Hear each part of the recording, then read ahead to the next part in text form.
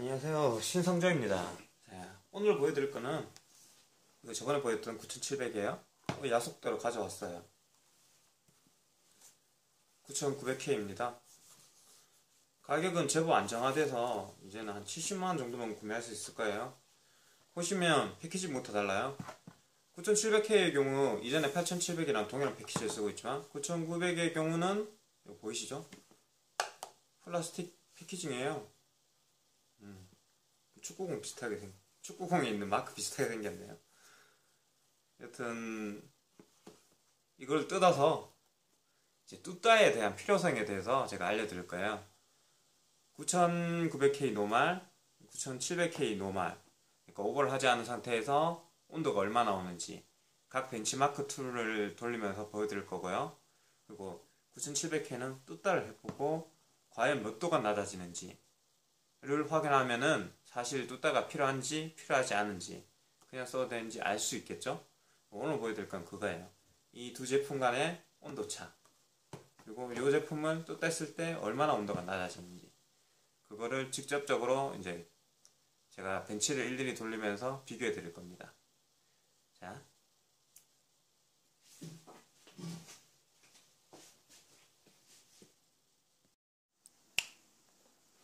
네. 테스트 시스템입니다.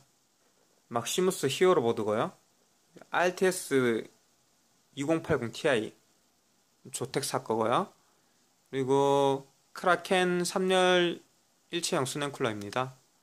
거기에 전원부 발열 해소를 위해서 그 120mm 팬 하나 얹어뒀어요. CPU는 9900K고요. 어, 메모리는 티포스 나이트호크인데 일단 클럭을 변경시키지 않고 기본 클럭으로 뒀어요. 모든 게 다 auto 옵션이고요. 전압만 1.3으로 고정을 할 거예요.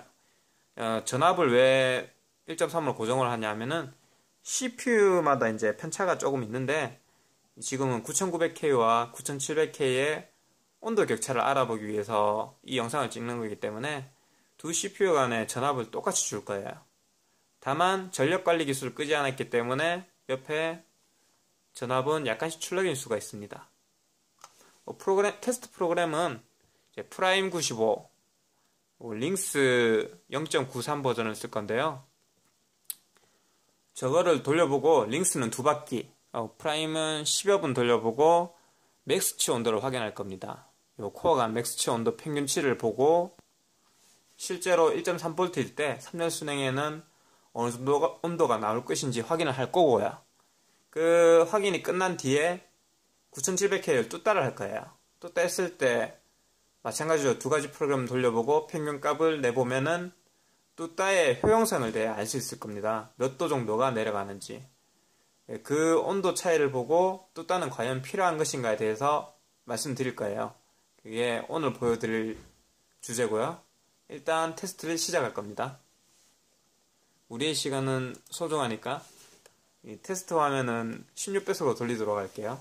결과값만 알면 되니까요.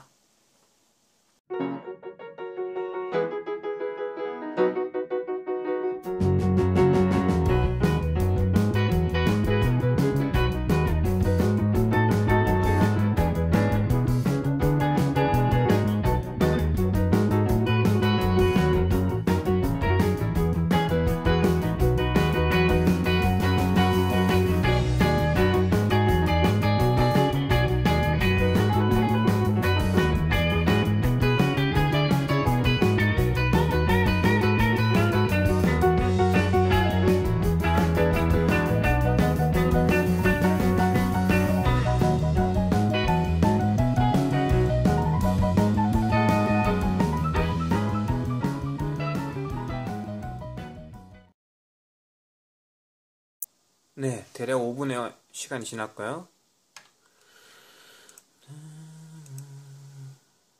온도는 55도, 54도부터 59도까지 대략 그쯤이네요. 네, 이제 또 따라 할 거예요.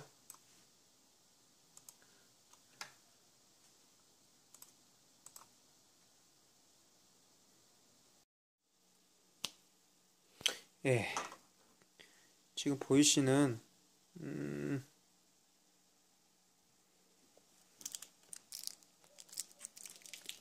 구칠칠백 k 를또 따라 해볼 겁니다. 준비물은 이렇게 준비해 뒀고요.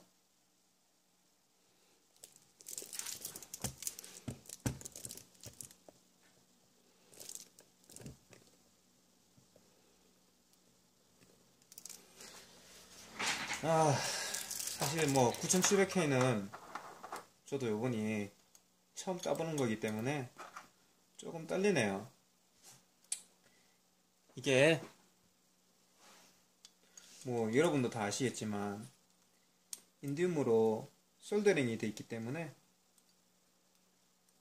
또 따다가 날려먹을 확률이 꽤나 높은 편입니다.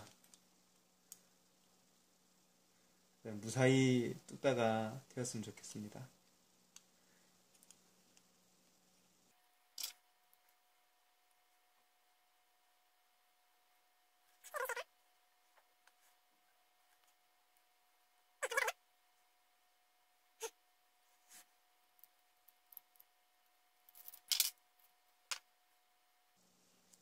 비틀어서 떼보도록 할 거고요. 이렇게 보이시죠? 네. 9700K 뚜따가 되었고요. 일단 한번 닦아 보도록 할게요.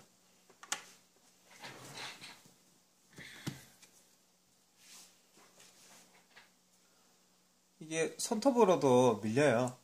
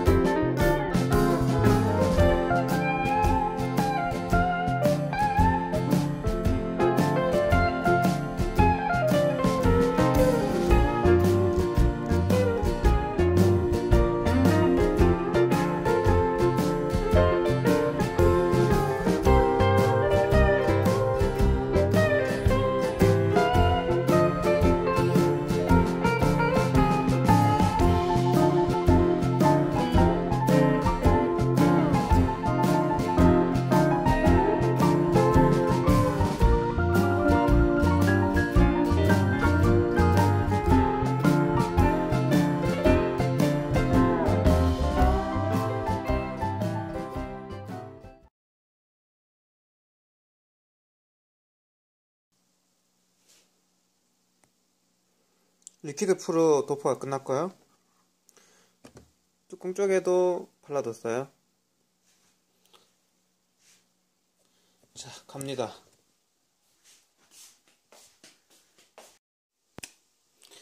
네, 뚜따한 거를 장착했거든요. 이제 두근두근거리는 뚜따 성공 여부 확인, 확인이 남았어요.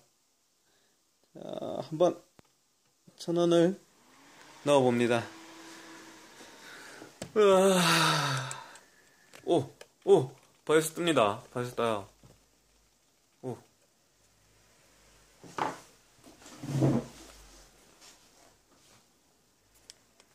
일단, 네, 또 뗐는 CPU가 다행히 뻥나진 않았나 보네요.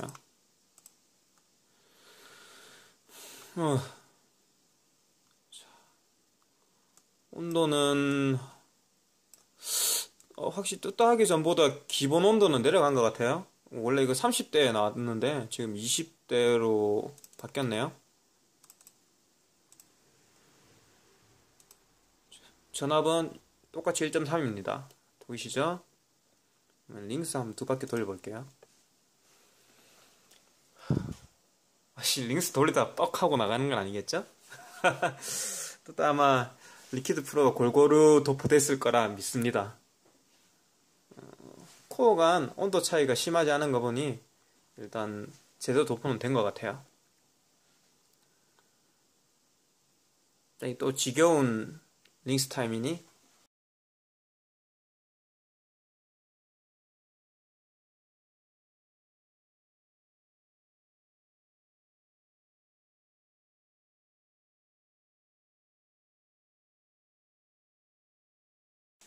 자, 링스 두 바퀴 완료됐고요. 온도는 코어 간의 온도 차이가 좀 나네요. 제일 낮은 놈이 71도, 제일 높은 녀석이 86도 나옵니다. 음, 사실 load 안 걸렸을 때 온도가 편차가 크지 않은 거 보니 이거는 한 코어가 유난히 낮게 나오지만 사실 평균값 보면 크게 나쁘지 않은 것 같습니다. 뚜따가 도포가 약간 밀렸을 수는 있어요. 근데 엄청난 차이는 나지 않는 것 같습니다.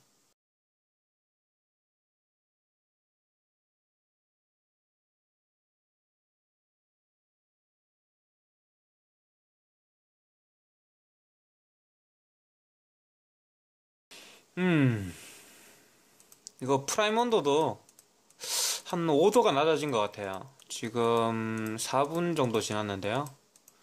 사실 3분만 지나도 로드가 걸려서 충분한 온도가 나오거든요. 지금 온도가 앞에 거보다 한 5도는 낮은 것 같습니다. 앞에는 60도는 넘게 나왔는데 말이죠. 부스터도 정상적으로 켜져 있고요. 올코어는 4.6,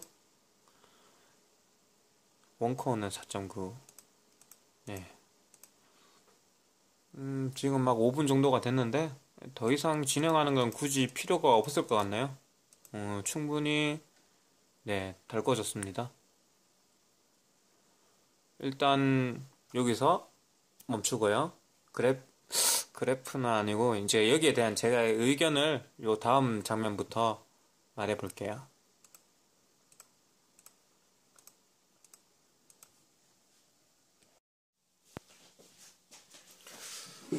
네. 어, 제가 일일이 이제 나왔던 온도를 다 더해서 나누고 나누고 나누고 해서 엑셀로 표를 만들어 놨습니다. 음, 지금 말하는 영상에 이제 자막으로 띄워드릴 텐데요. 그 사실 상당히 뚜따에 대해서 실망적인 느낌이 드네요. 어, 제 지금 앞에 뚜따하는 영상을 보여드렸으면 아시다시피 뭐 코어가 드러날 정도로 제가 긁었어요. 그러니까 뭐 전체가 다 완벽하게 긁겠다는 소리는 아니고 코어 일부분이 드러날 정도로 확실하게 평평하게 음, 잘 긁어서 거기에 리퀴드 프로를 도포했는데요. 실제로 온도 차이는 2도에서 4도 내외였습니다. 이게 물론 좀 더 뭐 테스트 시간을 길게 잡으면은 타 사이트처럼 뭐 9도, 8도, 10도 이렇게 차이 날 수도 있는데 실제로 그 오버클럭 해보신 분들은 알겠지만 온도 많이 차이 나서 10도, 10도 가지고는 클럭을 1 올리기 힘듭니다. 0.1을요. 뭐 오버 많이 해보신 분들은 알 거예요. 예를 들어 내가 4.9인데 5.0을 넣으려면은 전압을 얼마나 더 줘야 되냐면은 보통 이제 끄트머리일수록 전압이 많이 먹게 되는데 한두 스테스 되는 게 아니라 뭐 0.05 하여튼 꽤 높은 전압이 요구해요. 0.05, 뭐 적게 줘도 0.04 많이 들어갈 경우 뭐 0.07, 고 0.1클럭을 올리기 위해서 그 정도의 전압이 필요합니다. 그 정도 전압을 더 주면 온도가 10도가 아니라 뭐 13도, 14도 이렇게 치솟게 돼요. 결과적으로 뚜따에서 모놀리 클럭이 뚜따 하면은 0.1을 더 올릴 수 있다. 그렇게 되는 제품이 없다고는 얘기를 못 하겠지만 생각보다 많지 않을 거예요. 맞죠? 물론 제가 테스트한 제품이 9900K가 아니고 9700K이기 때문에 오히려 온도 편차가 낮게 나왔을 수 있습니다. 9900K 같은 경우에는 여러 뚜따 하신 분들이 말을 종합해 보면은 9도 10도가 정설입니다. 네, 그 정도 그러니까 더 온도가 높게 나오는 9900K 정도 돼야 이제 또 뗐을 때 그 정도 효과를 발휘한다는 거예요. 제가 보기에는 그리고 임듬을 제가 깎아내면서 느낀 건데 인디움이 그 리퀴드 프로보다 그 온도 전달이 구려서 온도가 높게 나오는 게 아니고요. 인디움이 매우 두껍게 발려 있습니다. 매우 두껍게요. 그 두꺼운 걸 다 깎아내고 heat spread랑 코어 간의 거리가 좁아지기 때문에 온도가 좀 더 좋게 나오는 겁니다. 쉽게 말해서 열 전달 물질 간의 이제 온도 열 전달 온도 격, 격차는 크지 않고요. 두께만 비슷하면 비슷하게 들어갈 거예요. 근데 인디움이 두꺼우니까 그만큼 거리가 멀어져서 온도가 높게 나오는 거고 뚜따라는 작업은 그 인디움을 밀어내고 heat spread 간의 거리를 좁히면서 리퀴드를 채워준 겁니다. 뚜따 같은 경우에는 8000번 대만 해도 저는 필수라고 생각했어요. 근데 이 9000번 대 같은 경우에는 뚜따를 하지 않고 차라리 그 위험도와 거기에 들어가는 노력과 돈을 2열 순행에서 3열 순행으로 바꾸는 뭐 그 정도만으로 충분히 5도 정도가 내려가거든요. 뚜따 할 돈으로 그러시는 게 더 좋을 것 같아요. 물론 제 개인적인 견해고 아무래도 제가 이제 퇴근하고 시간 여건상 길게 테스트를 못하는 게 좀 아쉽긴 한데 어, 그렇다 하더라도 저는 10도 이상 차이 나지는 않을까 생각합니다. 그런 미미한 뭐 2도, 4도 이 정도 차이를 느끼실 바에는 특히 9700은요. 뚜따를 하지 않고 차라리 좀 더 좋은 쿨러를 쓰시고요. 9900K는 진짜 전압을 조금만 더 줘도 조금만 더 줘도 이 단계를 넘어갈 수 있을 것 같은 느낌 들 때 그럴 때만 뚜따를 하세요. 아니면 의미 없습니다. 0.1 안 올라갈 겁니다. 서로 0.1 올라간다 하더라도 실제로 플레이상에는 체감이 되지 않을 거고요. 그리고 9900K를 링스를 돌려봤는데요. 기본 전압에서는 9900K도 온도가 그 100도대를 찍지 않아요. 3열 수냉을 사용하면요. 그러니까 2열이나 3열 수냉을 사용해서 뭐 기본적인 4.8 오버 이 정도라고 쓰시는 게 가장 현명한 선택이 아닐까 싶습니다. 물론 개인적인 의견입니다. 오늘 영상은 여기서 마치고요. 다음번에는 다른 또 뭐 재미있는 아니면 위험 부담이 갈 수도 있는 그런 실험으로 뵙겠습니다. 이상 신성조였습니다. 좋아요 추천해주시면 감사합니다. 아, 특히 구독 좀 눌러주세요. 28명밖에 없거든요.